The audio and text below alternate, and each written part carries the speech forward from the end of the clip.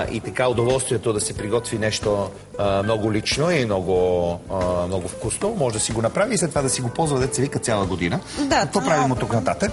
Значи вадиме бланшираните зеленчуци. Вече им е достатъчно, морковчета трябва леко да хрупкат. Да, разбира се, само ще оставим картофчетата още малко, защото са, на тях им трябва повече време. Всичко А. това след това ще се сотира в масло преди издаване. Аха, за да получи вкус. Да. Какво правиш в момента? Едни филийки от... Тип карпачо. Да. Канапето под канапето, така? Да, подложката на канапето. Има ли вече в, така, при професионалистите виждане по въпроса за а, качествения състав, като минерали, като видове зеленчуци, които се ползват? Имате ли такива клиенти, които а, държат и на тази страна от нещата? За този баланс в, в рецепта. Рядко, това са повече чужденците, в смисъл хората, които държат на тези неща. А, още нямаме, според м- това е лично мое мнение, че тук още няма такава култура, Култура. на хранене. За да се държи чак на такива да, детайли? За да се задълбочаваме толкова Между много неща. българи в момента, ходейки на, навънка, хора с възможности, проявяват такъв интерес и такива претенции. Даже понякога надхвърлят а, така а, своите познания с цел да изпъкнат пред останалите членове на масата. Но това е характерно за българите, които те първа израстват в кулинарно отношение.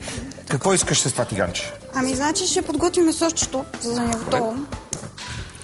Деми глас сос. А, между другото, а, в някои от следващите предавания ще поканя някой от нашите колеги, за да а, проследиме целият процес за стигането ето до този сос. Между другото, скъпоценен сос. Прави се от дълго а, варене на кости, на тръбни кости, задължително, не на ребрени, не на гръбначни, а на тръбни кости, защото те пускат много хубав сос, след това се монтира, довкусява и така нататък и така нататък. Да го слагам ли вътре?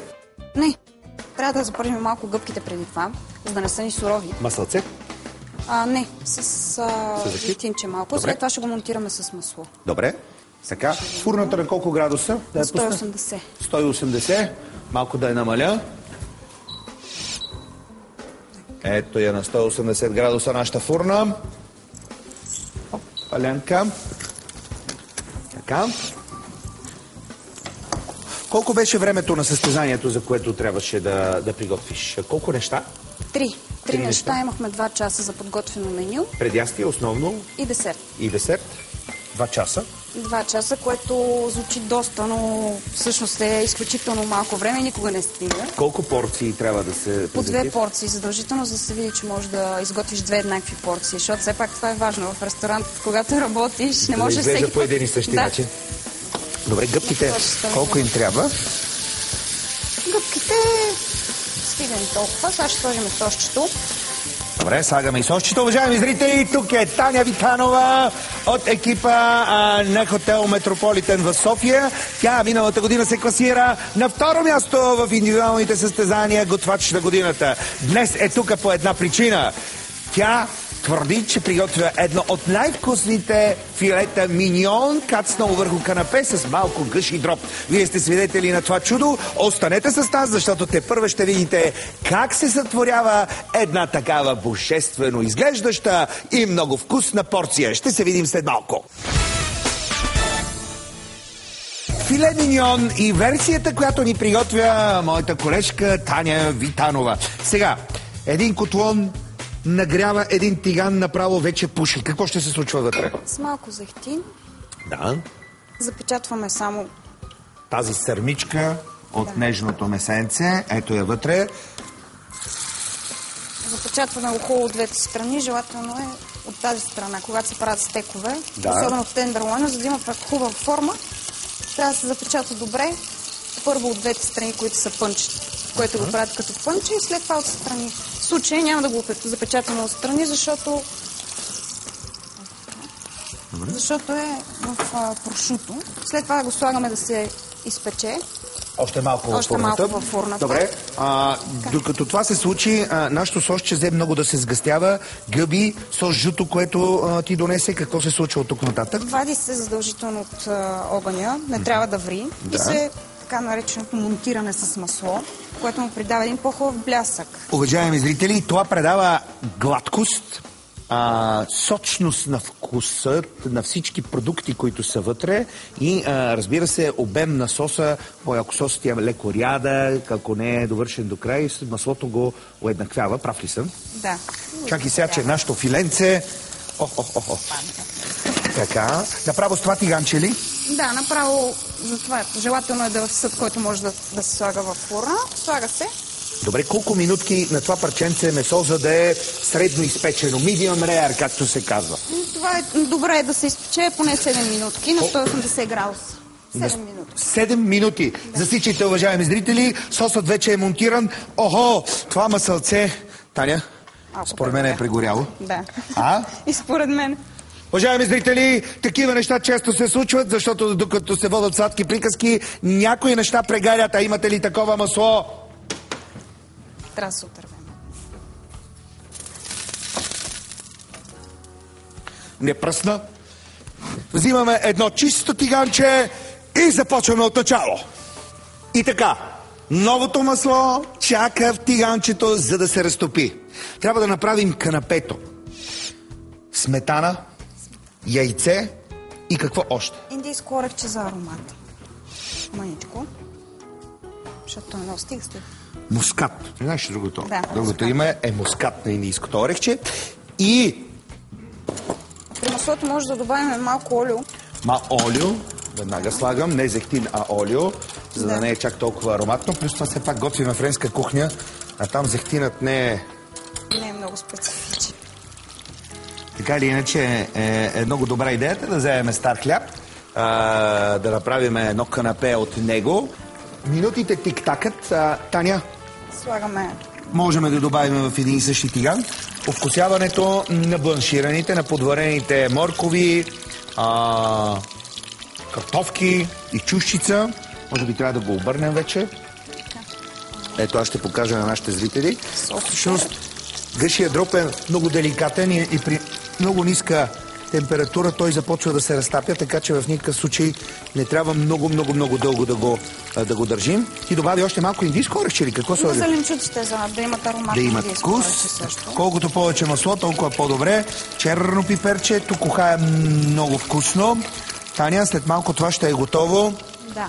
Нашето филенце в фурната по същия начин вече придобива готовност. Какво си направила с соса? Освен, че го монтирахме с масло, вътре ще сложила и Доматки конкасе. Да, Белен няколко- домат на купченца. правилно ли е да се слага на такъв дълго врял сос а, а, компонентата пресен а, зеленчук, пресен домат? Ами... Няма ли по някакъв начин да наруши дълбочината на соса?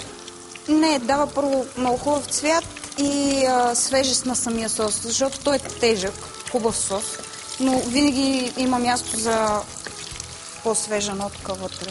Добре. Ето го нашето канапенце. Мисля, че вече е готово. Да го вада ли? Особено по състезанията започват да казват, остават ви 10 минути. Аз ги казвам обикновено тези неща и страшно стресирам а, всички състезатели. Лекото попиване. Готови ли са зеленчуците, Таня? Давай, не остана време! Малко да се потопиме в атмосферата на състезанието. Темпо, темпо, темпо, темпо, темпо! Комисията казва, не ви остана време, ще ви дисквалифицираме, ако не издадете основното и десерта до 2 минути, а не може да ги сложиш двете едновременно. Трябва комисията да мине по-отделно. Така, защо ги отсеждаш? Ами, защото като се сложат в чинията, първо ще се останат много мазни и като се сложат в чинията ще се разпече и ще стане много красиво. Олеле, трябва да гледаме и чинията да е добре подредена. Таня, ето тук си е направила една хубава подложка от броколито, което беше леко бланширано. Аз вада мръвката, която изглежда наистина прекрасно. Трябва да се внимава, между другото, с количеството на солта, което обикновено слагаме в такива случаи, когато вкусяваме месото, защото тези прошута, хамони и всичко останало са доста солени. Настъпва и сублимния момент, в който а, сребърната медалистка от състезанието миналата година в Пловдив а, за това кой ще грабне сърцата и разбира се непцата на взискателното а, жури, Таня Витанова от екипа на хотел Метрополитен. Вече е готово канапе от пържена филийка с гъши дроб вътре.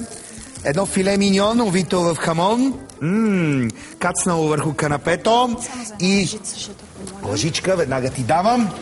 И гъбен сос или по-скоро сос жу с сотирани гъби и, и конка доматчета.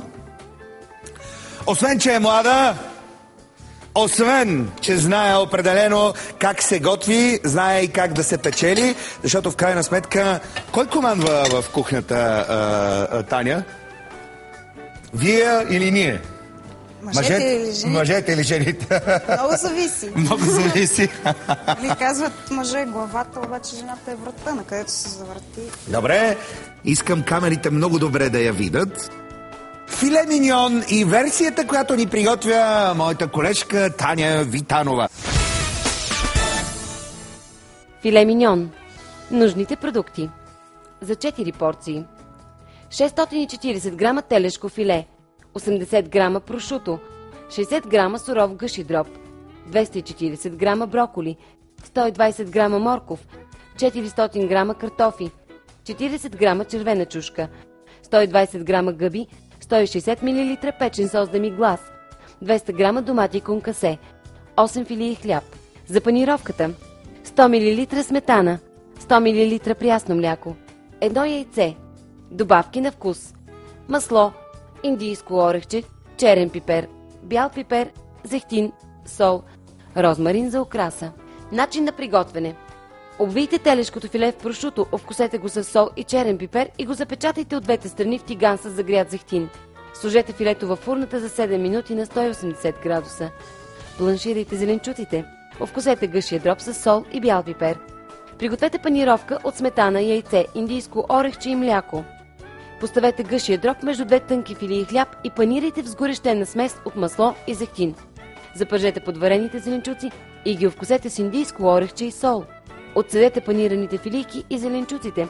Обелете и нарежете на филийки гъбите. Запържете ги на силен огън в малко зехтин. Добавете сос деми глас, а след като свалите от огъня, добавете и студено масло.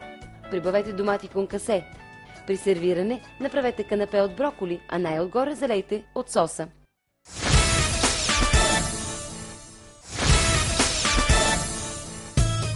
Яще с удоволствие, наслаждавайте се на вкусната храна, не водете политически разговори, а говорете за любовта, не за нейното минало, за нейното настояще и в крайен случай за нейното бъдеще, защото нещата с любовта и храната се случват не преди, не после, а сега. И именно преди да се нахвърля върху твоята филе миньон, искам да ти направя и няколко подаръка. Това е един комплект от контейнер а, за хартия и един салфетарник от нашите професионални партньори Торг, за да е чиста твоята лична кухня. И от Вериги магазини Зора ти подарявам една такава сандвич преса. Вие, уважаеми професионалисти, ако искате да ни дойдете на гости и да сготвите някои от вашите авторски рецепти или някоя класическа рецепта, на която сте много добри, може да ни се обадите на нашия телефон 9447323. Аз ви посрещам и готвим заедно. А сега да живее консумацията! Това предаване се излъчва благодарение на Горение, вашия приятел в кухнята.